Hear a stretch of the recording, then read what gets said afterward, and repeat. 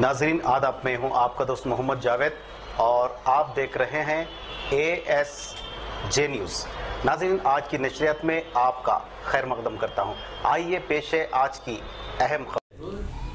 السلام علیکم ورحمۃ اللہ وبرکاتہ۔ میں آخر و سدھار کمیٹی کا اس وقت ذمہ دار شخص بات کر رہا ہوں۔ آپ تمام سے سب سے پہلے اللہ تعالیٰ سے آپ لوگوں کے لیے دعا ہے کہ اللہ آپ کو یہ بیماریوں سے ہم تمام کو یہ بیماری سے محفوظ رکھے۔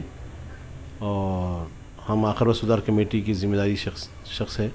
وہ حساب سے آپ سے پھر سے ایک بار اپیل کرتے ہیں کہ ان غریب غرباؤں کے لیے سو ایک کلو چاول اور پو کلو مسور کی دال، جو بھی دال ہو سکتی ہے، وہ جناب محمد جاوید صاحب، آخر و سدھار کمیٹی کے صدر، عرفان ہوٹل پہ آفس ہے ہمارا۔